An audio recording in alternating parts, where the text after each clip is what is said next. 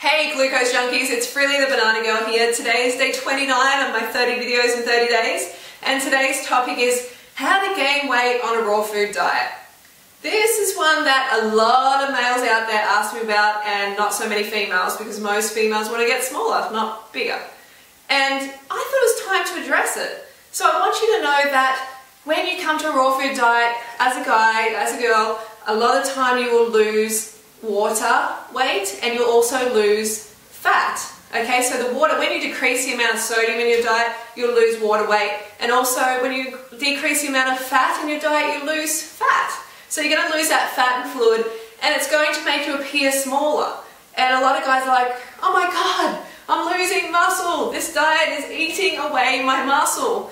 No, no, no, it's not eating away your muscle, okay? If you're continuing to eat enough calories, and do resistance training, then you're not going to decrease, you know, your muscles aren't going to atrophy.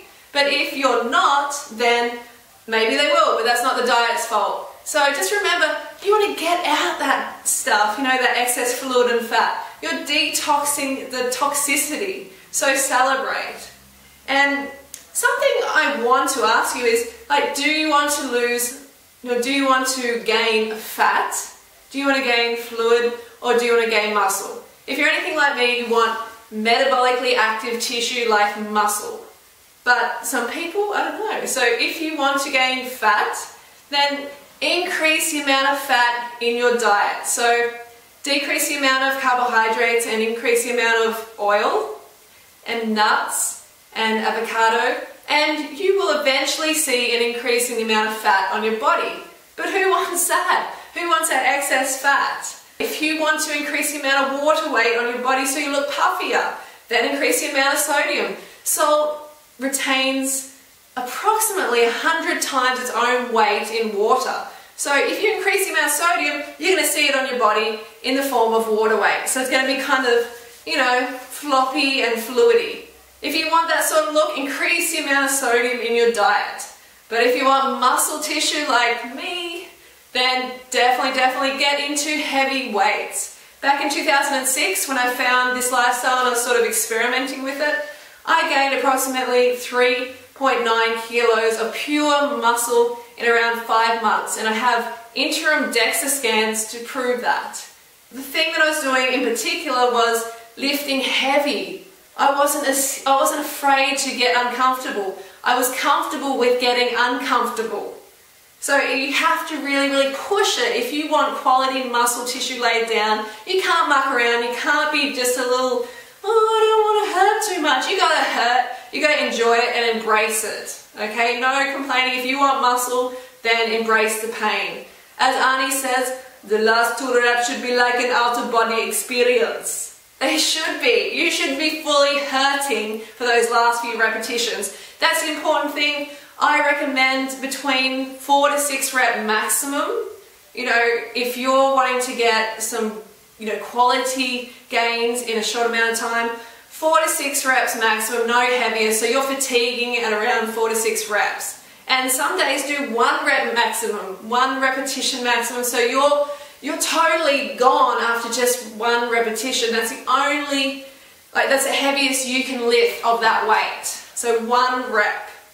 And when it comes to weights, you've got to be consistent, you've got to be regular, but you also need to rest. Okay, you need to get in that rest period, you need to get enough sleep. So sleep is the next one is so important. If you want that optimal human growth hormone release, then make sure you get into bed on time. You're not getting to bed after midnight, you know, 2, 3 a.m. in the morning. If you are, you're not going to get as much muscle gain because Rest is when your muscles are repairing and actually building. So you need to be, you need to have that shut eye so you're getting that maximum recovery. And the next one is calories. You have to get enough calories. Yes, your protein, you do you actually need more protein when you're doing this intense exercise.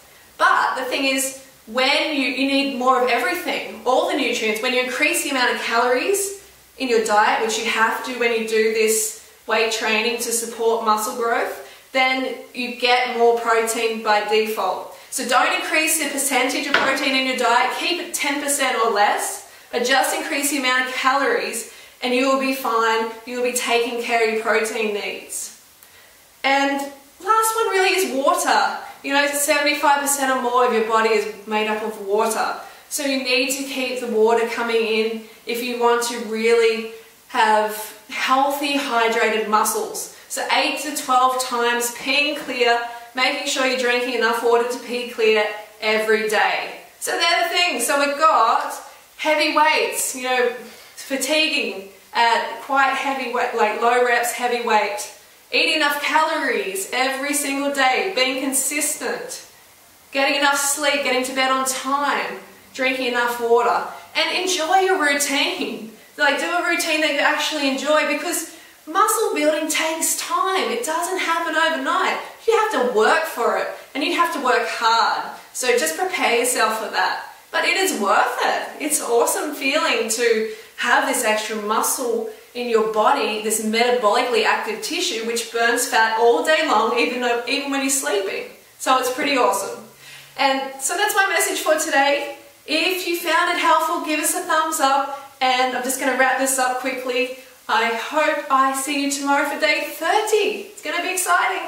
Alright, see you then. Don't forget to go fruit or root yourself. Bye, Girl.